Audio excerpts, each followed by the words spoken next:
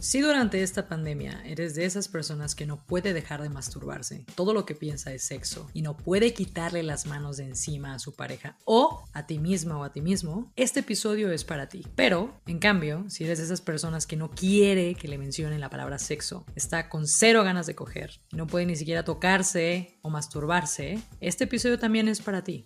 Entrevistamos a la doctora en psicología social, especialista en placer sexual, Fabiola Trejo, y nos habló de todas las formas, las diferentes formas en que cada uno de nosotros y nosotras está viviendo su sexualidad en esta pandemia.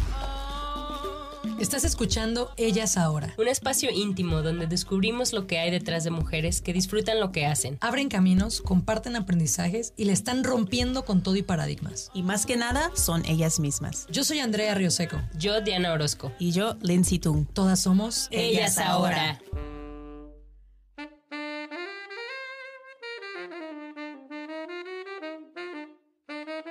Fabi, bienvenida. Por favor, preséntate para todos. Cuéntanos también qué es Body Sex. Soy doctora en psicología social, especialista en placer sexual y educadora sexual. Me dedico a la investigación de la sexualidad, particularmente creando modelos de estudio para el placer sexual y me especializo en temas de masturbación y orgasmos, justamente porque pues me formé con la única y grandiosa Betty Dodson, la madre de la masturbación, quien ha diseñado los talleres de masturbación que se les llama Body Sex y que existen desde más o menos 1970 1972 más o menos por ahí hizo su primer taller, que son talleres donde las mujeres nos reunimos durante dos días estando completamente desnudas a hablar sobre nuestros cuerpos, nuestros orgasmos, a sanar la relación que tenemos con nuestros cuerpos, a aprender a posicionarnos y a posicionar nuestras vidas en torno al placer eh, durante estos dos días observamos nuestras vulvas, nos masturbamos, nos damos un masaje corporal y todo se hace de manera grupal, justamente con el objetivo de sanar y de apropiarnos de nuestra sexualidad, de nuestro placer y de nuestros orgasmos a través de la masturbación. Sin embargo, en el episodio y en la entrevista de hoy con Fabiola, nos vamos a enfocar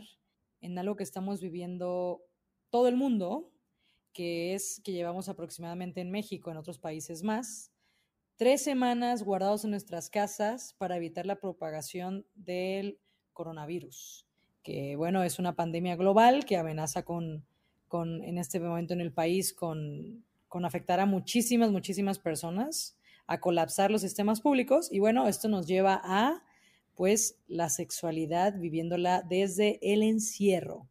Entonces, nos vamos a enfocar en este tema con Fabiola. Fabiola como lo dijo, es experta en muchísimos temas de sexualidad, ha investigado por muchos, muchos años y hoy nos vamos a enfocar en cómo afecta, cómo vivirlo, nos va a dar unos tips desde su expertise para saberlo conllevar, no importa cuánto más dure este encierro. Pues ahorita es una situación bastante atípica a la que todas y todos nos estamos enfrentando, que nos está generando muchísimas tensiones, muchísimas ansiedades y justamente en momentos como este la gente pensaría que tendríamos que hacer a un lado la sexualidad o ni siquiera nos queda espacio para pensar en nuestra sexualidad, en nuestro deseo, en cómo arreglarnos. Estamos adaptando muchísimas cosas como por ejemplo el trabajo, estamos adaptándonos a hacer home office para las personas que no estaban acostumbradas a hacerlo, a la convivencia familiar o a la convivencia en pareja o a, acostumbrarte a estar tanto tiempo a solas si no estás compartiendo tu espacio con alguien más y no pensamos qué hacer con la sexualidad, que podemos, siquiera es importante en estos momentos enfocarnos a tener cuidados especiales con nuestra sexualidad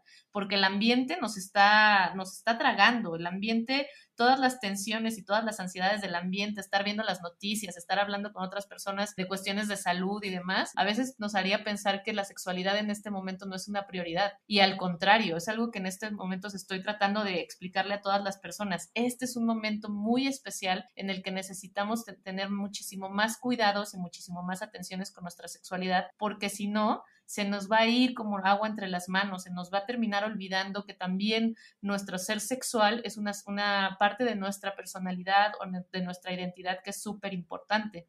Necesitamos hacer también adaptaciones en nuestra vida sexual. Si no tienes pareja, también tienes que hacer adaptaciones. Si estás viviendo con tu pareja, sobre todo en esos casos tienes que hacer adaptaciones. ¿Cómo podemos seguir conectándonos con nuestro placer y con nuestro disfrute, incluso en tiempos en el que el ambiente está muy, muy pesado. Entonces es como, bueno, ahorita me vienen muchos memes a la cabeza.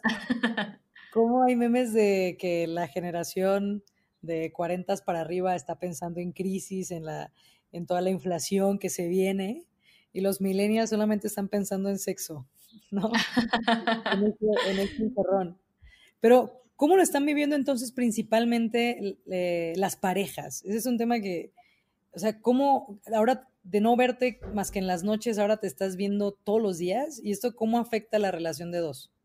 Así es, mira, primero, antes que eso, me gustaría explicar un poquito cuál es la lógica, qué es lo que está pasando en nuestros cuerpos en un momento de tensión como este. La literatura científica a lo largo del tiempo nos ha ido demostrando y nos ha ido eh, confirmando cómo cuando pasan sucesos atípicos como esto, que sobre todo ponen en riesgo nuestra vida eh, o la percepción que tenemos sobre nuestra vida, es decir, pensamos que pues, la gran depresión que hubo en Estados Unidos es un... Oye, Fabi, pero entonces todo, todo comienza a desmoronarse en esta rutina por el simple hecho de no haber una conexión. Ahí es donde todo empieza. Sí, no es que empiece ahí, sino en esta rutina, en este, si estamos hablando particularmente de esta situación que estamos pasando todos, que es la cuarentena, tiene que ver con no perdernos en nuestras preocupaciones, en nuestras ansiedades, en nuestras rutinas y perdernos a nosotros mismos como individuos, olvidarnos que hay más cosas que nos están pasando además de esto, que hay más cosas que estaban pasando en nuestras, nuestras relaciones antes de que comenzara todo esto. Entonces, sí es cierto que necesitamos espacios de distancia y también necesitamos espacios de cercanía. Lo que yo invitaría a las personas es buscar tiempos de calidad, espacios de calidad y no solo compartirlo todo o no compartir absolutamente nada. Es buscar espacios de soledad, espacios físicos espacios eh, temporales, no necesariamente tienes que irte a encerrar un cuarto, pero quizás sí ponerte unos audífonos, unos 5 o 10 minutos, decir, este, mi momento de tomarme café es mi momento y ahorita pongo en pausa absolutamente todo. Y también buscar espacios donde poder conectar con las personas con las que te estás relacionando, poder conectar con qué te está pasando, cómo te estás sintiendo, platicar realmente, no nada más es platicar acerca de las últimas noticias que hay sobre el coronavirus, coronavirus, no nada más es platicar acerca de, ah, lo, que están pasando otras personas o qué estás haciendo en el trabajo, sino cómo te sientes tú.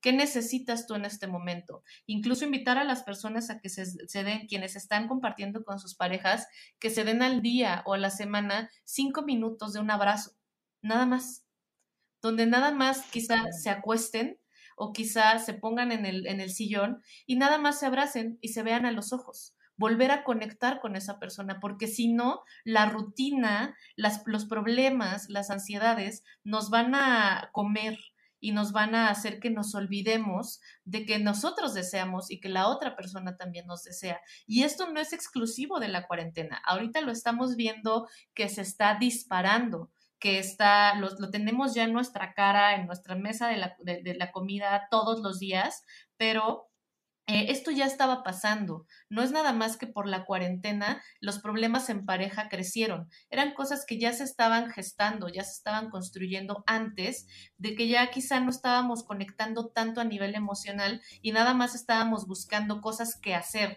a dónde llevar a los niños, a dónde salir a comer ahora, con quién compartir ahorita y no pasar tiempo de calidad juntos. O las personas... Claro, distraídos todo el tiempo con cosas que hacer y ahora no hay distracciones ahora es enfrentar realmente quién eres tú, quién es tu pareja y, cuál es la conexión que los une. Exactamente, entonces...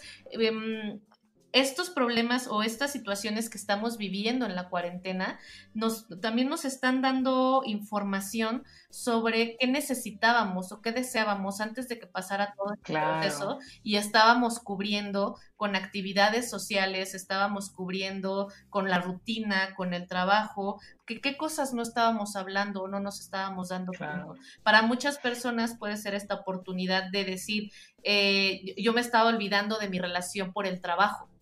Eh, y, la verdad me estoy dando cuenta que sí necesitaba yo alimentar eh, la conexión, eh, la intimidad. Y otras personas puede ser, no, no me estaba olvidando de mi relación, yo la estaba evadiendo, porque en realidad yo ya no estaba contenta o contento con esta relación. ¿Y qué tan, qué tan probable es que digo, que no puedas conectar, o sea, que te des cuenta que ya no puedes conectar con esa persona o contigo. No sé, no sé si sea posible que no conectes contigo, pero si estás tan acostumbrado a evadir, imagínate las personas que tienen 45 años evadiendo y hasta hoy tienen que hacer una pausa porque no les quedó de otra. Claro, y, y no está mal.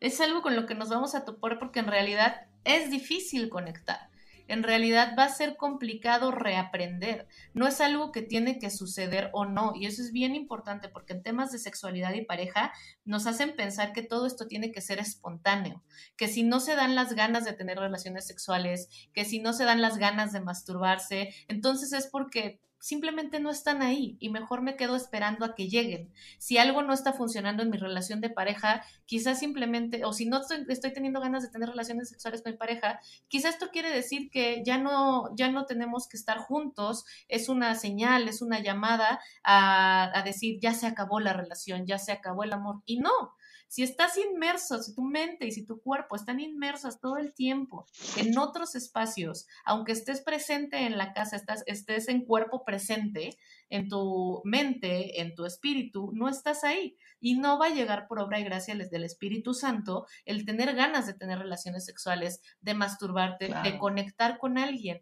Es necesario, son habilidades que tenemos que desarrollar. Y hasta el día de hoy, la dinámica rutinaria de la vida era justamente desconectarnos de las otras personas, estar metidos en el celular, estar metidos en el trabajo, produciendo, produciendo, produciendo todo el tiempo, cumpliendo las demandas de ser una buena madre, de ser una buena esposa, de ser una buena amiga, de ser una buena trabajadora, empleada, jefa, ser buena, como el cumplir con el deber ser y nunca detenernos a cuestionarnos y realmente quién quiero ser yo.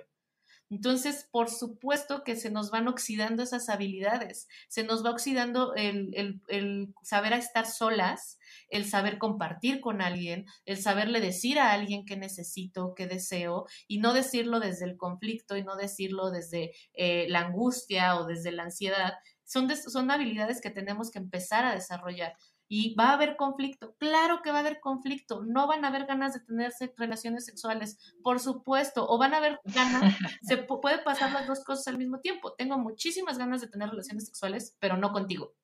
Pero particularmente no con mi pareja. Entonces, o sea, lo que estás, lo, creo que uno de los mensajes que, que, me están quedando más claros es que todo se vale. Claro. O sea, que, que no tiene que estar escrito sobre piedra cómo tienes que hacer las cosas, sino que tienes que sentarte con tu pareja y sentarte contigo y ser muy honesta y decir, a ver, esto es lo que necesito, esto no necesito, esto es lo que quiero, esto es lo que no quiero y que se vale. Claro, y muchas veces ni siquiera vas a poder contestar esas preguntas, pero ¿qué quiero? ¿Pero qué necesito? Y vas a decir, pues es que ahorita lo que necesito es tener sexo, porque ya tenemos un mes sin tener sexo, ok, y de pronto a la buena o a la mala tienes sexo y luego dices, ay, creo que realmente no era lo que yo necesito. Porque ya no era contigo. Ajá, no era contigo o yo pensé que quería sexo, pero en realidad quería que me miraras a los ojos y me dijeras que me amabas. O en realidad quería sentirme deseada. Y entonces tuvimos este encuentro sexual, cada quien llegó a su, orgasmo, se dieron la vuelta, se durmieron y al final me quedé con esta eh, necesidad o este hueco que dice, ah, no, algo me hace falta. Entonces, como dices, todo se vale. Por supuesto que van a haber conflictos, por supuesto que van, van a haber momentos en que vas a estar súper caliente y van a haber momentos en que no vas a querer que nadie te toque, nadie te Lo importante es entender que en estos momentos de encierro lo que más necesitamos es empatía, no solo en el encierro, esto lo, ya lo necesitábamos antes, ahora lo necesitamos más y después de este proceso lo vamos a necesitar muchísimo más. Pero yo siempre invito a las personas a conectar con personas que sean empáticas, a tratar de ser empático porque en estos momentos vamos a estar, van a haber momentos de mucha ansiedad y es necesario entender cómo tu pareja procesa las ansiedades. Y quizá tu pareja procesa la ansiedad queriendo tener relaciones sexuales todo el tiempo. Y tú dices, no, ya estuvo bueno, yo ahorita no quiero, porque tú procesas las ansiedades desconectándote de tu cuerpo. Mejor. Uf, ¿y qué, qué haces ahí? Y ahí es donde empieza el proceso de entender, de ir desarrollando la empatía y decir, a ver, estás un poco de malas, eh, estás preocupada, estás irritable Y cuando te pones así, eh, andas ansiosa, algo te pasa, necesitas algo de mi parte y que la, y, también nos toca a nosotros ser autónomas y que la pareja sea autónoma y decir, ¿sabes qué? Es que en este momento me siento muy preocupada o en este momento no quiero pensar en coronavirus y la única forma en que puedo no pensar en coronavirus es teniendo relaciones sexuales, es manoseándote todo el tiempo, es lo que sea. Y, y entonces lo que tenemos que empezar a desarrollar aquí es la empatía. Siempre les digo, para coger bien se necesita empatía. Y no, no, no son técnicas, no es que te tienes que conocer, no es que debes de ser la mejor, conocer todas las técnicas y conocer el cuerpo perfectamente de la otra persona. Se requiere eh, ponerte en los zapatos del otro. Y ponerte en los zapatos del otro no es, mira, es que lo que yo haría en tu caso es esto. No, es entender ¿Cómo, ¿Cuáles son las tareas diarias de esa persona? ¿Cuáles son los, eh, las preocupaciones que tenía antes de esto? ¿Cuáles como mujer o como hombre, cuáles podrían ser sus mayores preocupaciones en este momento? Por lo general, eh, los hombres en este adoctrinamiento cultural sobre que ellos tienen que ser los proveedores, una de las cosas que más afecta a su sexualidad y a su desempeño sexual es darse cuenta de que, o estar inmersos en problemas económicos porque me han enseñado que mi identidad está en torno a cuánto puedo producir y cuánto puedo eh, proveer a alguien más. Aunque tengamos la relación más deconstruida, son hombres que se relacionan, que, que crecieron en este adoctrinamiento. Entonces, entender que las preocupaciones económicas pueden afectar emocionalmente y sexualmente muchísimo a las parejas quienes tienen parejas heterosexuales. Entonces, si mi pareja en este momento no tiene muchas ganas de tener relaciones sexuales, no me está buscando mucho, no me está deseando mucho, igual y acercarse y decirle, oye, ¿qué pasa? ¿Cómo te sientes? Oye, necesito que sepas que esto podemos manejarlo nosotros juntos. Yo también estoy preocupada por cuestiones económicas. O si nuestra pareja tiene eh, como temas que tienen que ver con el trabajo, de quedarse sin trabajo o de tener muchas tareas que hacer en la casa, mujeres que se dedican al, al hogar, que trabajan en el hogar, eh, que tienen hijos, entender que si tú estás todo el día cuidando hijos y no estás recibiendo, eh, no estás compartiendo la responsabilidad con esa persona, lo último que va a querer esa persona es tener relaciones sexuales. Obviamente no voy, a, voy a estar cansadísima para tener relaciones sexuales. Y ahí es donde entra este proceso de conexión, de cercanía y de intimidad. Ver a la otra persona y permitir que la otra persona me vea pues van a haber momentos de mucho conflicto, van a haber momentos de mucho deseo, van a haber momentos que se vale que en este, en este periodo de cuarentena no quieras tener relaciones sexuales y eso no quita que se amen y eso no quita que tengan una buena relación. Desde la empatía sería una aproximación de, ok, si no quieres relaciones sexuales, ¿de qué manera podemos conectar ahorita?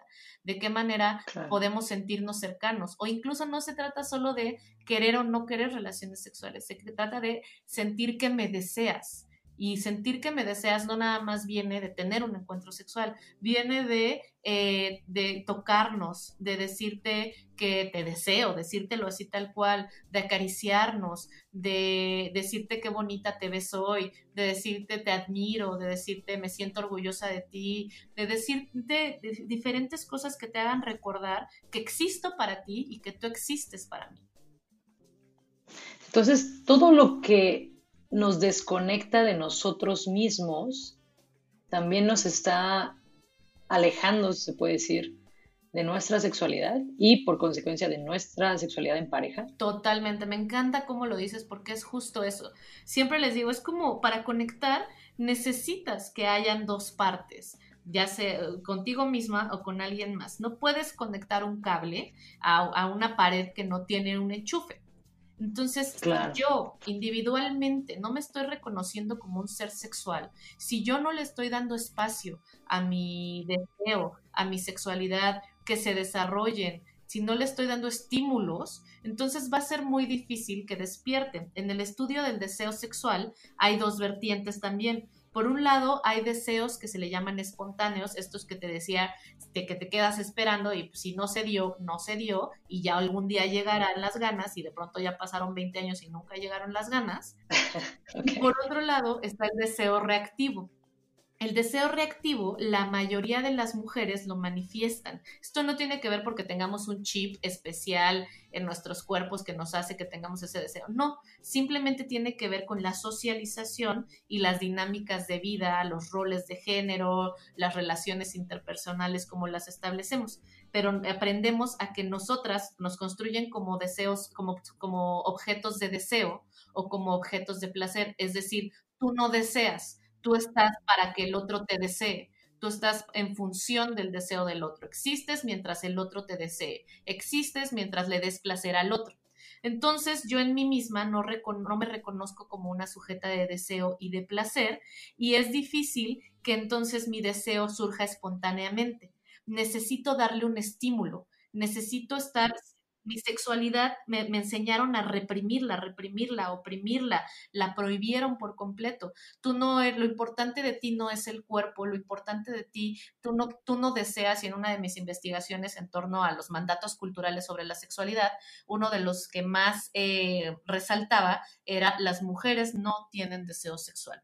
Y este lo podemos ver eh, manifestado en muchas otras cosas de la vida, como las mujeres no se masturban o las mujeres tienen sexo solamente porque están buscando afecto. Y al final lo esto que nos está diciendo es tú no quieres, tú no necesitas. Y este adoctrinamiento lo vamos integrando en nuestros cuerpos y no aprendemos a identificar nuestras necesidades y nuestros deseos. Entonces necesitamos forzosamente que haya un estímulo y no necesariamente tiene que ser estímulo sexual de, eh, de que alguien se te encuere enfrente de ti, sino si a mí me dijeron que yo no era un ser sexual, ¿qué me recuerda que soy un ser sexual?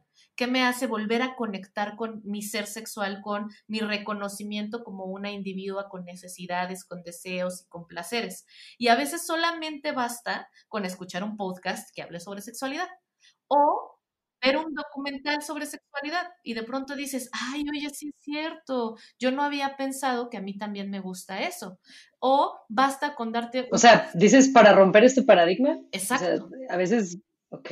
Exacto, necesitamos dar el estímulo, entregarnos a nosotras mismas el estímulo que nos recuerde que soy sexual. Porque si, y esto pasa mucho cuando hago, cuando trabajo con temas de masturbación con mujeres, es que no tengo ganas. Simplemente no tengo ganas de masturbarme. O es que con mi pareja es suficiente, yo sola, ¿para qué? Y esto es una, una muestra de que nosotras eh, solas, como individuas autónomas, no se nos permite expresar, manifestar nuestra sexualidad, manifestarnos como seres sexuales. Entonces necesitamos algo que nos recuerde que somos sexuales. Y ese algo para poder ir rompiendo estos esquemas, justamente como tú lo dices, de tú no eres un ser sexual, recordar quizá hablar con amigas sobre sexualidad, como lo que decías tú hace rato, simplemente hablar con una amiga y decir, oye, ¿cómo andas? ¿Cómo te sientes en estas, en estas situaciones? Una amiga justo hace poco nos decía, oigan, ¿no les está pasando que están teniendo más relaciones sexuales con su pareja? Con esa simple pregunta. Te recuerdo de, ay, sí, cierto, sí, sí, soy un ser sexual. O eh, con estas propuestas que hay de, pues, tienes mucho tiempo, aprovecha para masturbarte. Y hay mujeres que van a decir, ay, no, qué flojera, ni, ni en qué momento, no tengo espacio, no tengo tiempo. Por eso es tan necesario hacernos el tiempo y sobre todo en estos momentos de cambios de rutinas, de tensiones, de ansiedades, necesitamos apartar un tiempo específico para estar con nosotras. ¿Qué quieres hacer en ese espacio? Es tu decisión. ¿Cómo puedo volver yo a reconectar con, con, mi ser sexual, a volverme a acordar que soy un ser sexual?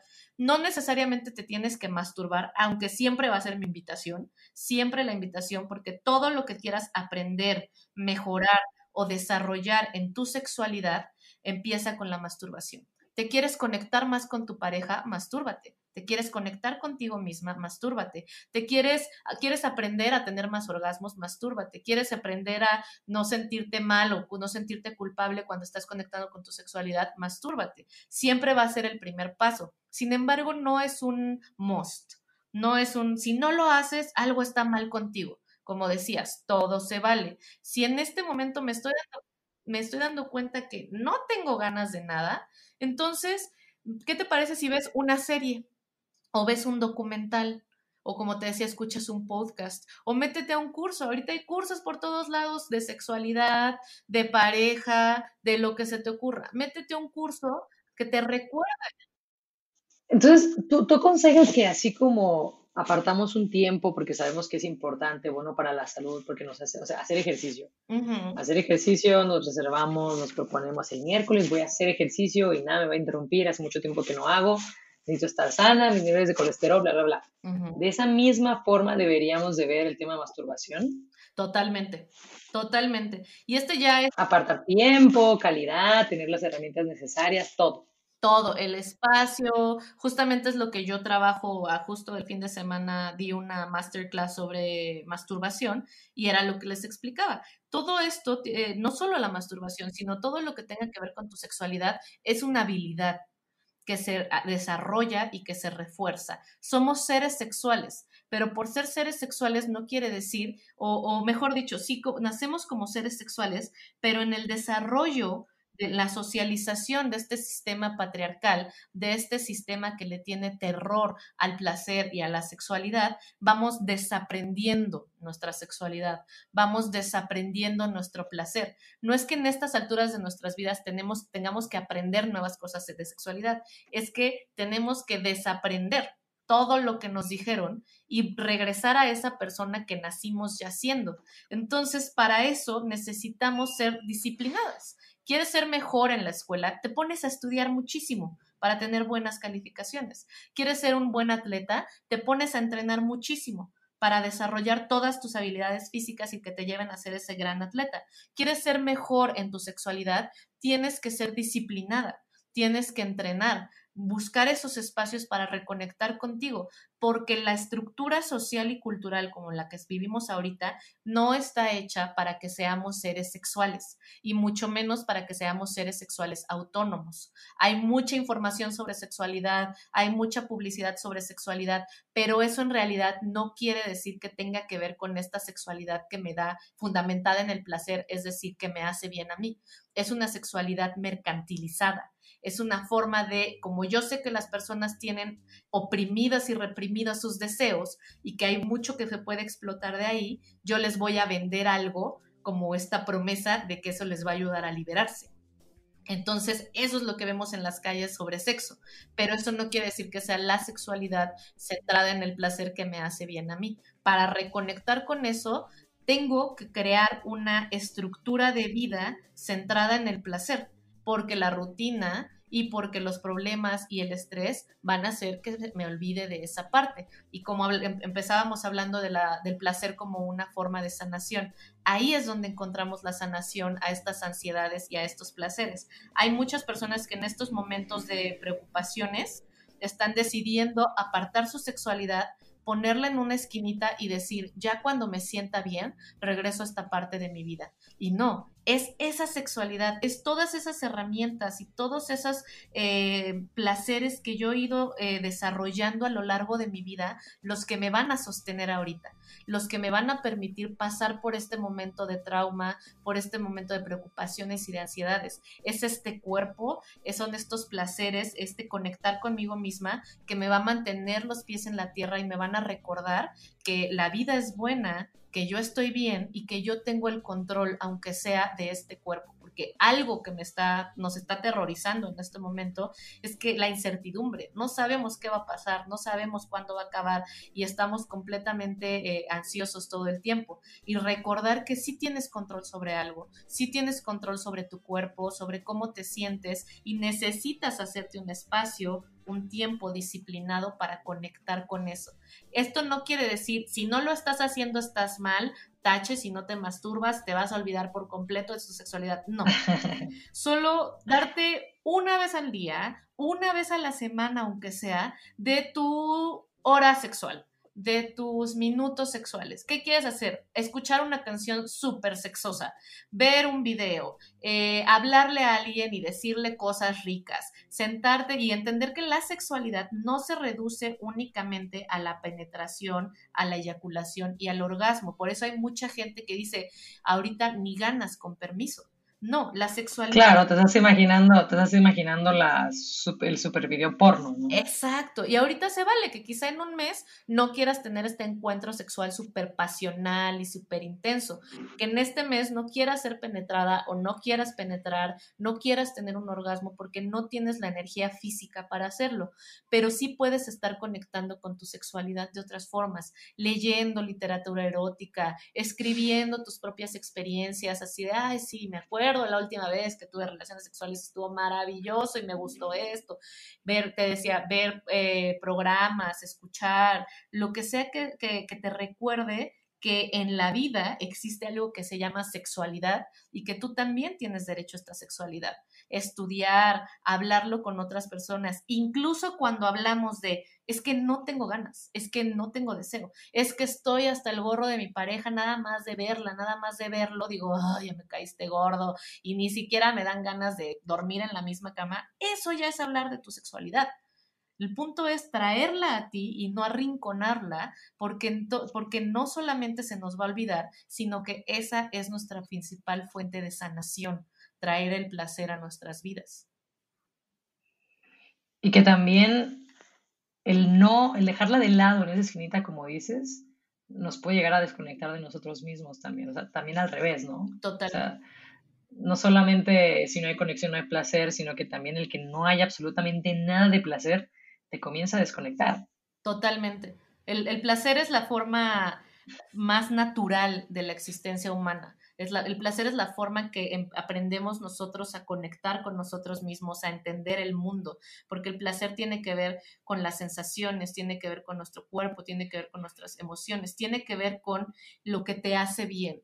En una mirada reduccionista, androcentrista de la sexualidad, se piensa en placer y automáticamente se piensa en orgasmo automáticamente se piensa en eyaculación. Y no, el placer es una dimensión muchísimo más amplia de la vida que tiene que ver con el conocimiento de uno misma, con el reconocimiento de sí misma y de sí mismo como seres autónomos, porque una vez que me volteo a ver a mí, digo, wow, esto necesito en este momento, esto deseo, o ni siquiera sé qué necesito y qué deseo, pero ya se me había olvidado que soy una persona que necesita y desea más allá de sus actividades cotidianas. Y en ese momento que regresas a ti, en ese momento estás conectando con el placer porque estás conectando contigo mismo. Podríamos decir entonces que el placer es manifestar amor propio. Totalmente. El placer, una vez que experimentas el placer, eh, es decir, que te conectas contigo misma, no hay forma, es lo que yo siempre digo. Cuando yo empecé este proceso, todas las formas en que yo entendía la vida cambiaron. se, eh, se convirtió en un proceso de amor a una misma que puso en perspectiva absolutamente toda mi vida particularmente mis fuentes de amor y de placer, es decir, aquellos espacios que yo creía que, eran espacios amorosos, que yo era amada, que yo estaba conectando con alguien, en realidad eran espacios, no eran espacios seguros, eran espacios de control, eran espacios que funcionaban siempre y cuando yo cumpliera con mi deber o yo cumpliera con lo que con la persona que yo tenía que ser con las expectativas externas. Pero si yo dejaba de hacer eso, entonces ya no eran espacios seguros para mí, eran espacios donde me era condicionado el amor, donde me era condicionado el sexo. Y en el momento en que me empiezo a escuchar a mí misma y en el momento en que empiezo a conectar con mi placer, me doy cuenta que eso que yo pensaba que era amor no es amor, que el amor es, esto que yo estoy sintiendo, esto que yo siento con mis manos en mi propio cuerpo, este bienestar que siento cuando me permito sentirme, no solamente sentirme bien, sino cuando me permito sentir angustiada, cuando me permito sentir triste, cuando me permito sentir enojada. Y muchas veces la, respuesta automática es, no, no, no, todo va a estar bien, no llores, no te enojes. No, sí, tengo derecho a estar enojada, necesito estar enojada, necesito estar triste. En estos tiempos de encierro necesitamos sentir todo lo que estemos sintiendo en este momento, sea bueno y sea, o sea malo. Y eso es el amor a una misma. El amor a una misma no es nada más adorarte y amarte y levantarte y verte al espejo y decir, wow, soy lo máximo, me acepto tal cual soy. No, el amor a una misma tiene que ver con un proceso de autoaceptación, de decir, van a haber días que me voy a caer gorda, que no me voy a soportar y se vale. Ver eso con compasión, y decir, pues sí, puede tener que ver hasta con mis procesos hormonales o puede tener que ver porque simplemente hoy no me caigo bien, hoy no me gusto, porque si no va a venir el proceso de cómo es posible que no te quieras y ya te tenías que querer en esta dictadura del placer que yo le llamo. Te tienes que amar todo el tiempo, te tienes que adorar y respetar y ser lo máximo todo el tiempo, porque eso es el amor propio. Pero el amor a una misma es decir, ah, mira, hoy no me quiero, Hoy me está costando mucho trabajo verme a mí misma. Hoy me está costando mucho trabajo sentirme. ¿Por qué? ¿Qué está pasando? En este momento, pues claro, estás ansiosa. Pues claro, te la has pasado trabajando. Llevas cinco horas viendo Twitter y cómo están los, eh, números del coronavirus en el mundo. Claro que no te vas a sentir bien contigo misma. ¿Qué necesitas ahorita? Y lo que yo les digo siempre es este mantra que yo uso, mi mantra de vida, que es, no, si no se siente bien, no está bien. No necesitas justificaciones, no necesitas explicaciones. A las mujeres nos han pedido durante toda la historia que tenemos que justificar absolutamente todo lo que hacemos, pensamos, necesitamos, deseamos. Y no, y, no, incluso nos tenemos que terminar justificando a nosotras mismas. Ay, es que sí salí con él, pero ya sé que está feo, pero no es porque esté feo, sino porque es bien buena onda. Pues te vale, porque me gusta y punto. Si a las otras personas no les gusta esa persona, es su problema. No tengo por qué justificar por qué algo me gusta. Entonces, si no se siente bien, me muevo a un espacio donde se sienta bien. En este momento me siento muy ansiosa. Claro, porque nada más te la has pasado frente a la computadora o te, has, te la has pasado trabajando. ¿Qué necesitas en este momento para no sentirte ansiosa?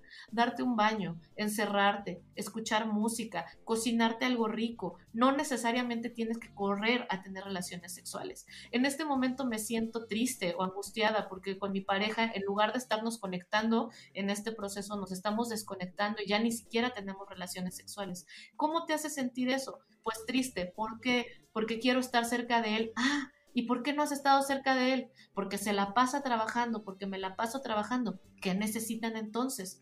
Pasar un tiempo juntos, no necesariamente tener un encuentro sexual, sino pasar tiempo juntos, tocarse, abrazarse, mirarse a los ojos, estar sentados en el mismo sillón aunque no se estén hablando, tomarse de la mano mientras están viendo la tele qué es lo que ustedes necesitan para conectar otra vez. Y eso es el amor a una misma. Por eso no hay manera de que hablamos, hablemos de placer y de sexualidad sin hablar del el amor a una misma, porque al final conectar con el placer es conectar conmigo y de pronto descubrirme quién soy yo realmente y entrar a este proceso de aceptarme tal cual soy yo. Y eso es el amor a una misma. Y en estos tiempos de cuarentena es lo que más necesitamos mucha más compasión. Si no estás tomando el curso que dijiste que ibas a tomar, si no estás aprendiendo el idioma que ibas a aprender, si no estás teniendo todo el sexo que dijiste que ibas a tener cuando tuvieras la cocina limpia y la nueva barra, no importa, está bien. Así en estos momentos cuando más necesitamos ser compasivas con nosotras y nosotros mismos. Claro, y sabes qué, perdón, pero es que ahorita que dices eso, también recordar que en este adoctrinamiento que tenemos del placer de hasta que todo esté en orden, ahora sí me pongo a disfrutar, muchas personas pueden estar cayendo en esta dinámica de estar añorando que se acabe la cuarentena para ahora sí poder hacer todo lo que quieren de su vida, para ahora sí poder sentir. Para empezar su vida, ¿no? Exacto, y pensando que eh, ahora que se acabe la cuarentena, todo va a volver a, a la normalidad y entender que este va a ser un proceso de recuperación muy largo. No termina, estamos empezando el proceso, no termina con que nos levanten la cuarentena. Esto está despertando, esto nos está abriendo los ojos a muchas cosas. Una vez terminada la cuarentena, no es que ya vayas a querer volver a tener sexo o que ya vayas a meterte a ese curso o que ya vayas a sentir placer otra vez. No, va a ser un proceso largo de reacomodo, de readaptación que requiere ese conocimiento y esa conexión con una misma, ese amor a una misma, y me encanta la palabra compasión. Requiere mucha compasión hacia tu proceso. Entonces, no esperarse a que se acabe la cuarentena y, empezar a tolerar este, este tiempo. La compasión es compasión y paciencia vamos a requerir, mucha paciencia y mucha compasión hacia nosotras mismas. Y esto, una forma de abordar esto es dándonos espacios donde podamos respirar, donde podamos conectarnos con nosotras mismas, donde podamos cuestionarnos qué necesito, qué deseo. Esos espacios, una vez más, porque muchas mujeres o muchas personas pueden escuchar esto y decir, eh, pero es que ¿cómo voy a tener un espacio si tengo tres hijos, una pareja o si tengo cinco roomies o si estoy sola y lo que ya no quiero es espacio, entender que el espacio no solamente es físico, sino también es simbólico. Y puedes estar, ¿cuántas veces no estamos en, el transporte público rodeados de miles de personas y aún así nos sentimos sumamente solos. Entonces, el espacio de soledad tiene que ver en qué haces en esos momentos en que te conectas contigo misma. Puede ser que estés sola en tu casa y, estés pensando en cómo están mis amigos, cómo está mi pareja, qué está haciendo todo el mundo, cómo está el coronavirus, se va a acabar el mundo. Eso no es soledad. Claro, fuera de ti. Exacto.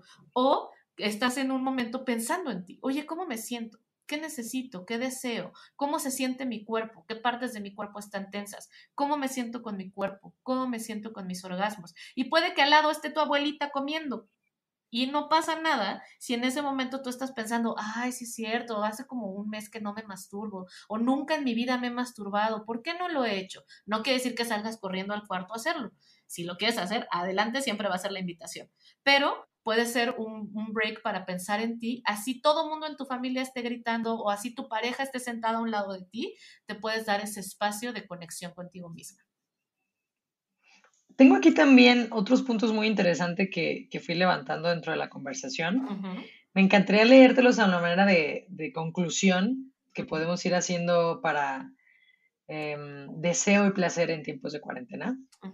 Lo primero es que no te preocupes si en esta cuarentena te estás masturbando demasiado, teniendo mucho sexo, no teniendo sexo o cualquiera de las anteriores. Es normal.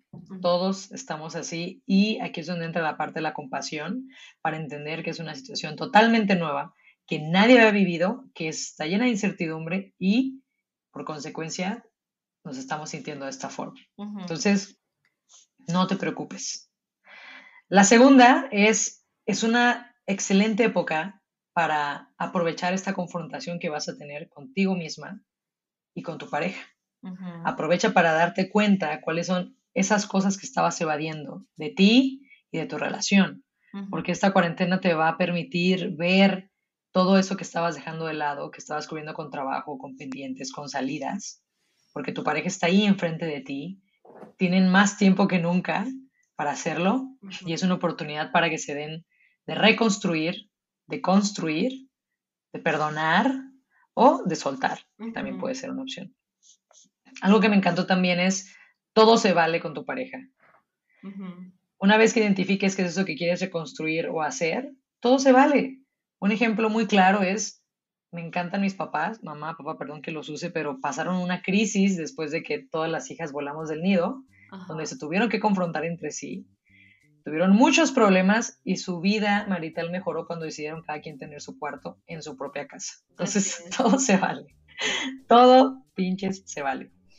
Eh, me encantó lo que dijiste, que utilizar el masturbarnos como una respuesta global a muchas, muchas de nuestras preguntas. Me siento ansiosa, mastúrbate. Quiero mejorar en mis orgasmos, mastúrbate. Quiero amarme más, mastúrbate. Quiero reconectar con mi pareja, mastúrbate. Quiero reconectar conmigo, mastúrbate. Una respuesta a muchísimas preguntas. Lo otro es que dejemos de ver el placer como algo extra como algo que si nos da tiempo, como algo si tenemos chance, como algo si algún día se me antoja, si, si hay placer, está bien, si no, no pasa nada, no. Dejemos que el placer sea algo fundamental, pongámoslo en prioridades como lo ponemos a hacer ejercicio, alimentarnos bien, darnos ese tipo de amor y dejemos que este placer nos acompañe en esta cuarentena, porque el placer nos lleva, nos conecta con nosotras mismas, nos conecta con el amor propio y nos acompañamos en estos tiempos. Así es. Y por último, y el más importante que me encantó es, sin conexión no hay placer. Ya sea conexión contigo misma o con tu pareja, no hay placer. Entonces hay que empezar a trabajar muchísimo esta conexión y mantenerla. Así es. Sí. ¿Algo más que quieras agregar tú como conclusiones? Sí, siempre me gusta hablar de los cómo específicamente, porque a veces puede quedarse muy en el aire la cosa y decir, ah, ok, me tengo que masturbar, ajá, ajá, pero entonces, ¿cómo le hago si no quiero, si sí quiero? O incluso también puede pasar que muchas personas, particularmente mujeres, jamás lo hayan hecho y ahorita se estén viendo, se estén enfrentando a esta idea de, ah, entonces me tengo que masturbar, ah, este, pero ¿cómo? Pero si todavía tengo ¿Nos vas a dar un manual de cómo masturbarnos? Más que eh, eso sí se los eso sí lo hago, pero, ahorita, pero ahorita es como sería como un tema muy muy extenso. Lo que les quiero dar son como claves, como estrategias específicas a las cuales recurrir eh, para encontrar estos espacios de conexión con una misma durante eh, esta cuarentena y este encierro particularmente. Entonces, es buscar una vez a la semana por lo menos eh, un espacio, si no te masturbas nunca, si nunca te, has, nunca te has masturbado o si no tienes ganas de masturbarte, puedes buscar un espacio donde únicamente eh, estés desnuda y te masajees tu vulva. Ponte aceite para masajes o ponte lubricante y empieza a dar un masaje suave en tu vulva. No esperes absolutamente nada no tienes que sentir rico, no tienes que sentir feo, no tiene que ser la experiencia más maravillosa de tu vida, ni tampoco tiene que ser la peor experiencia. Es muy probable que se te vayan a mover emociones como, ay, qué tontería estoy haciendo, qué ridiculez, o que se te mueva la culpa o la vergüenza. Si supiera la gente que estoy ahorita encerrada en mi cuarto haciendo esto, o en el baño con el jabón, darte un masajito, solamente eso, darte un espacio para darte un masaje en la vulva. Eso nos lleva a un, eso para poder hacer eso implica que tienes que hacer un espacio en tu día, un espacio físico, un espacio simbólico, que tienes que poner límites, que tienes que reestructurar tu rutina y eso ya es un ejercicio de autonomía.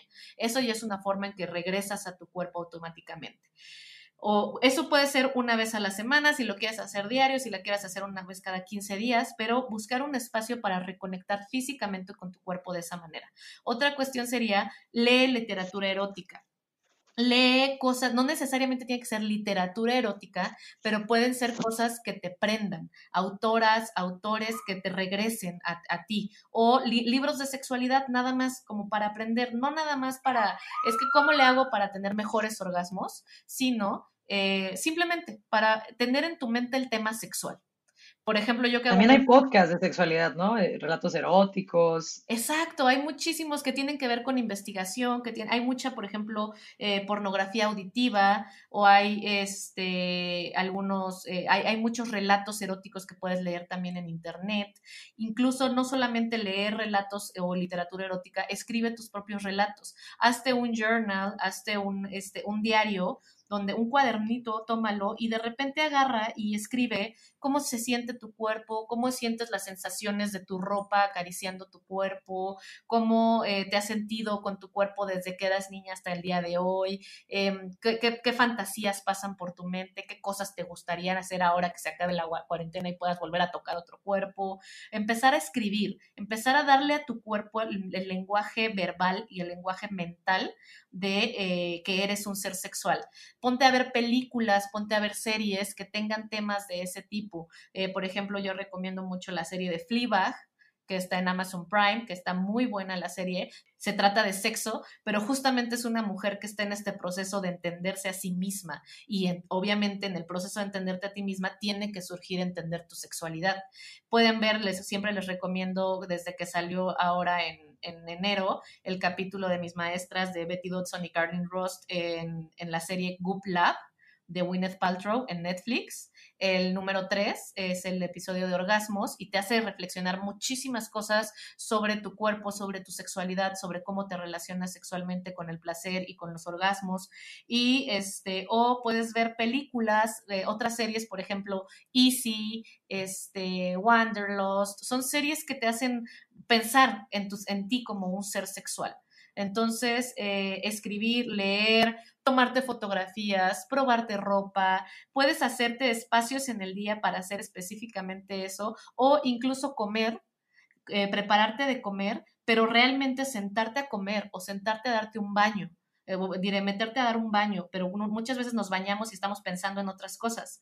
Pensar en cómo se siente el jabón en tu cuerpo, cómo se siente la agua cayendo, el agua cayendo sobre tu cuerpo, cómo se sienten eh, tus manos pasando por todo tu cuerpo. Solamente en este proceso, y lo pensé ahorita que tú lo decías sobre todas estas conclusiones, es un momento de observar en este momento es de detenernos a observar. No tenemos que tomar decisiones grandes, no tenemos que tomar decisiones cruciales en nuestra vida. Este no es el momento para tomar esas decisiones. Ahorita nos toca observarnos a nosotras mismas y observar a los demás. Lean, escuchen, vean, cosas que tengan que ver relacionadas con su sexualidad, hablen, escriban su biografía sexual, escriban con sus amigas, pregunten cosas si tienen amistades o métanse a círculos, a cursos donde si sus amigas no quieren hablar de sexualidad, por lo menos tú hablar de sexualidad. Y eso te va a mantener conectada en una sintonía de sexualidad en donde te va a mantener conectada con tu sexualidad. Si no te quieres masturbar, no tienes que hacerlo. Siempre va a ser la, sugerencia, pero hay que caminar antes de correr. Y si en este momento estás que no te puedes quitar las manos encima de ti o no se las puedes quitar a alguien más encima, date. Este es el momento. Eh, si necesitamos un pretexto para hacer o no hacer cosas, en este momento tenemos el pretexto más grande del mundo, que es el coronavirus. Entonces, acogerse ha dicho. Así es, apóyate de eso.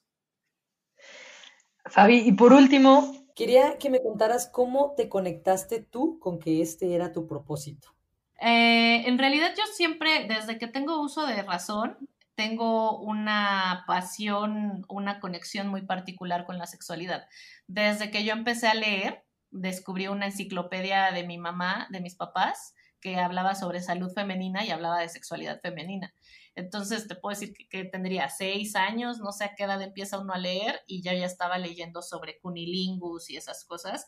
Había una pasión muy grande por, de, mí de entender y de sentir mi cuerpo y de entender cómo la gente se relacionaba con estos cuerpos. Fue hasta la universidad que supe que podía hacer una, que especializarme en el estudio de la sexualidad. Yo antes era una este, investigadora eh, eh, más eh, amateur, que desde chiquita le preguntaba a todo mundo, ¿y qué haces? ¿Y cómo lo haces? ¿Y te gusta y no te gusta? Y descríbeme cómo estuvo el beso y buscando eh, vivir la sexualidad desde la forma más empírica. Y al final dije, ok, entonces esto se puede sistematizar, esto se puede estudiar.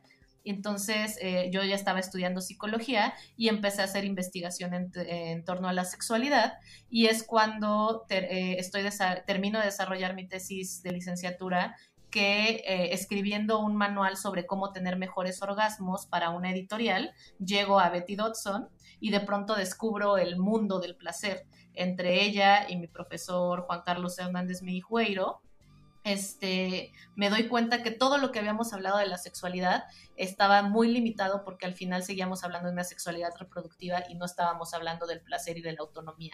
Y es cuando yo me meto en este mundo profundo de autoconocimiento, de decir, wow, nunca había pensado que yo era una sujeta de placer, que yo podía eh, apropiarme de mi placer, de mis deseos y podía ser una, una sujeta activa de placer y eh, lo empiezo a compartir con el mundo, empiezo a hacer investigación en el ámbito de la academia, hago todos mis estudios de doctorado en torno a entender al placer sexual, desarrollo un modelo psicosocial del placer sexual, a la vez que físicamente, corporalmente me formo con Betty Dodson y uno de estos dos me doy cuenta yo que al final en mi compartir de mis experiencias, eh, mis experiencias le estaban resonando mucho a otras mujeres y... Eh, o sea, empezaste a compartirte y empezaste a ver el impacto que podrías tener. Totalmente. Yo empecé con un blog en Tumblr completamente anónimo. Eh, compartiendo mis experiencias y de pronto mucha gente lo empezó a leer y les empezó a resonar y eh, fue de ahí que uní mis dos mundos que fueron la academia y body sex, el trabajo corporal, y empecé a desarrollar programas psicoeducativos para mujeres que respondieran a las necesidades de las mujeres, que no fueran eh, el conocimiento jerárquico de imposición de cómo debe de vivirse una vida sexual saludable o, entre comillas, normal, sino empezar a escuchar mi experiencia y la experiencia de otras mujeres y a partir de ahí crear espacios psicoeducativos que puedan brindarle las herramientas, no solamente los es, sino los cómo, específicamente cómo puedo yo lograr ese, eso que le dicen amor a una misma, cómo puedo yo lograr eso que le llaman orgasmo o eso que le llaman placer, o cómo puedo yo lograr sentirme dueña de mí misma y no sentirme como que voy eh, en esta vida avanzando a donde la vida me va empujando. Entonces creo esta serie de programas que cada vez van creciendo más porque cada vez son más historias de mujeres, cada vez son más espacios que se necesitan y eh, con, con ayuda de esas historias voy creando y con mi conocimiento dentro de la investigación y de la academia voy creando estos programas para darle las herramientas, para no darle las herramientas, eso es bien importante, para ayudar, acompañar a las mujeres a encontrar en ellas mismas esas herramientas que les ayuden a desarrollar su autonomía sexual. Y así se convirtió de pronto, eh, hubo un momento crítico eh, cuando terminé mi doctorado en donde tuve que decidir, continúa en el ámbito de la academia eh, como psicóloga social o construyo este proyecto de la nada este proyecto que cuando yo empecé hace ya ocho años no existía absolutamente nada como esto ni que estuviera hablando de esto. Y fue lanzarme al precipicio y decir, yo confío en esto, yo sé que alguien más le va a resonar esta historia porque a otras personas les ha resonado y construí mi proyecto Placer y Sexualidad Positiva que ha ido tomando forma con la compañía de muchas otras mujeres que me han abierto las puertas porque les ha resonado mi historia.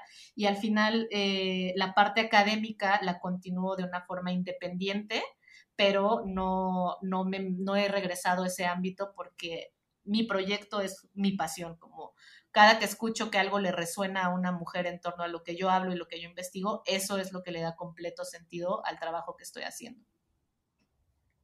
O sea, no pudiste decirle que no a esa pasión. No, no pude, con todos los miedos y con todas las inseguridades e incertidumbres de me estoy lanzando a algo que no, no existe, a desarrollar algo que todavía no existe, eh, me aventé porque me apasionaba y hoy estoy cosechando justamente esos frutos de darme cuenta que cada vez sabemos más mujeres interesadas por este tema, cada vez hay más mujeres hablando de vulvas, de clítoris, de masturbación, de orgasmos desde una perspectiva feminista y sustentada, que es algo muy importante del trabajo que yo hago, sustentada en información culturalmente relevante. Es decir, tenemos que entender que las mujeres mexicanas y las mujeres latinoamericanas tenemos una construcción de la sexualidad particular y necesitamos conocimientos, herramientas y estrategias para poder desarrollarla desde nuestras realidades. Y amor propio. Y al final todo eso, y al final este proyecto es una manifestación gigante del amor a una misma, porque al final fue eh, creer en mí, eh, apostar por mí y por la, y no y, y, este yo que soy yo no soy solamente Fabiola, sino soy todas las mujeres que vienen detrás de mí, que han estado al lado de mí, que han estado frente a mí, que eh, en compañía, en comunidad, nos vamos construyendo. Entonces, al yo amarme a mí misma, es inevitable relacionarme y acompañar a otras mujeres en sus procesos de amor a una misma. Fabi, ¿cómo, cómo te podemos contactar eh, para saber más de esta literatura que recomiendas, el taller que das, los programas que tienes? ¿Cómo te contactamos? Claro que sí, pueden encontrarme en redes sociales como arroba DRA-Fabiola Trejo, en Twitter, Instagram y Facebook, donde es donde hago mucha difusión de, de, mi trabajo. Y también me pueden encontrar en mi sitio este, drafaviolatrejo.com y ahí pueden encontrar todos los cursos, las conferencias, los talleres, los círculos que doy para mujeres. También pueden encontrar algunos de los artículos que yo he escrito y muchos espacios de entrevistas donde este, he tenido la oportunidad de colaborar, donde pueden conocer a profundidad mi trabajo e igual tengo con una compañera un podcast que se llama La Revolución del Placer que también lo pueden encontrar así en redes sociales, en Instagram, donde eh, hablamos justamente de todas estas herramientas específicas de cómo aproximarnos al placer. Gracias por sintonizar este episodio de Ellas Ahora. Si quieres ponerte en contacto con la doctora Fabiola Trejo, escríbele por Instagram arroba DRA-Fabiola Trejo. Y no olvides compartir este episodio con esa amiga o ese amigo que o no puede quitarse las manos de encima y pensar en sexo o está en la abstinencia total, para que le lleguen estas palabras de está bien, todos estamos así. Yo soy Andrea Rioseco y esto fue Ellas Ahora.